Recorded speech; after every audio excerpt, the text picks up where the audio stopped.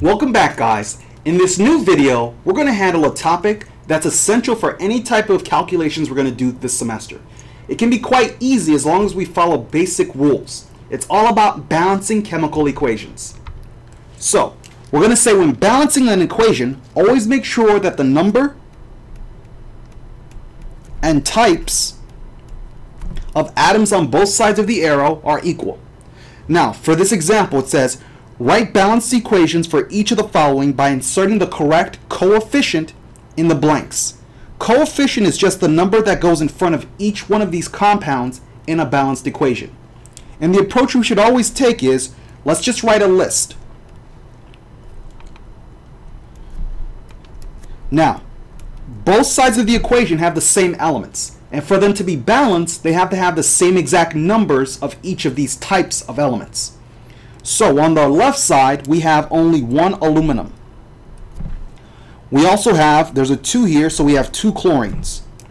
On the right, we still have one aluminum. And we have now three chlorines. You can see that the lists don't match. That's because the equation is not balanced. So we have to do is just go down the list and see what doesn't match. Our chlorines aren't matching, so that's what we want to balance.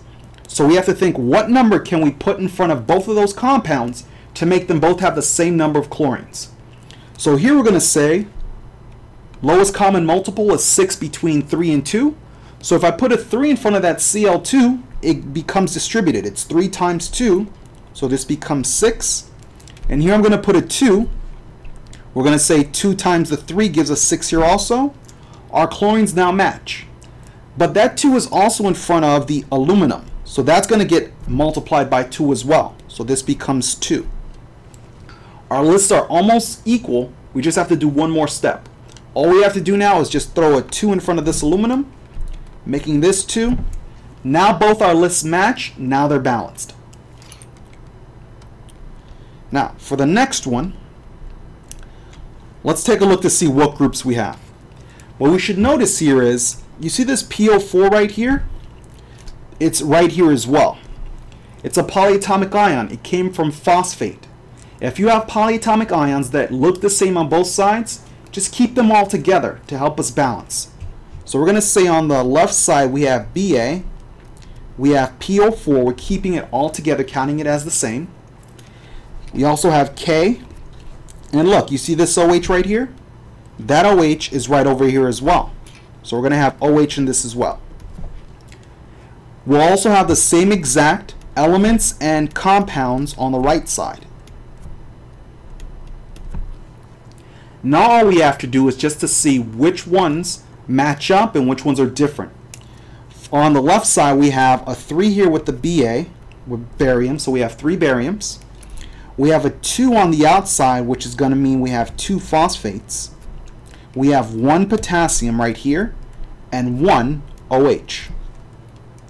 On the right side, Ba, we only have 1 Ba. We only have 1 phosphate. We have a little 3 here, so we have 3 potassiums. And then we have a 2 out here, so we have 2 hydroxide ions. Now, let's go down the list and match things up. For barium, we have 3 on the left, but 1 on the right. So let's put a 3 here.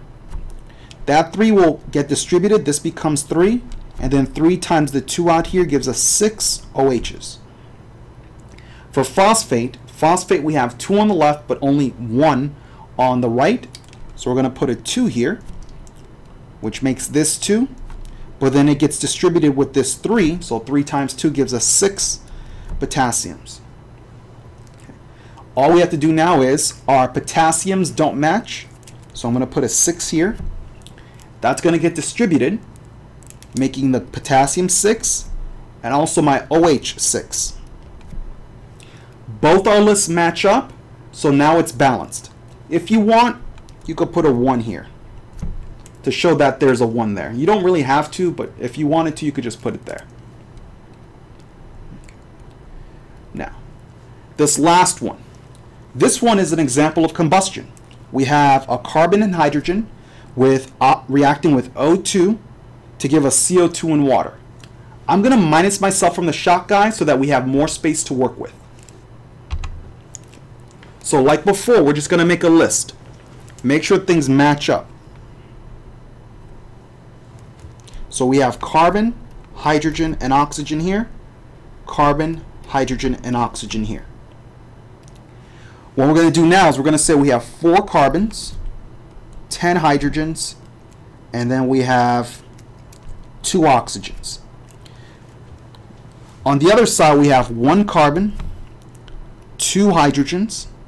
We have two oxygens here and one oxygen over here, so this is three.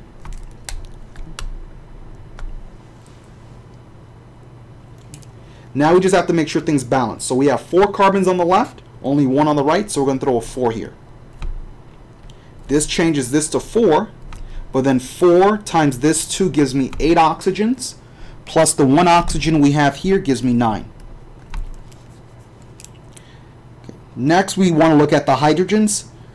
On the left, we have 10, but on the right, we only have 2, so we're going to throw a 5 here.